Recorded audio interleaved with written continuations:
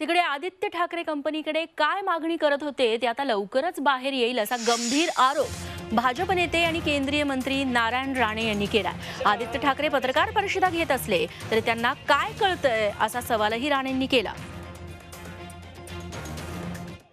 कसला आदित्य ठाकरे काय कळतं त्याला?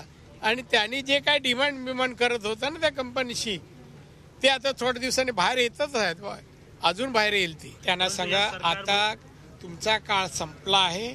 त्यामुळे भविष्यात अशी संधी मंत्री किंवा मुख्यमंत्री मिळणार नाही. त्यामुळे ट्विट करत राहा. आणि त्या ट्विट कोण वाचणार नाही आणि विश्वास ठेवणार नाही. छत्रपतींचा विचार. म्हणजे?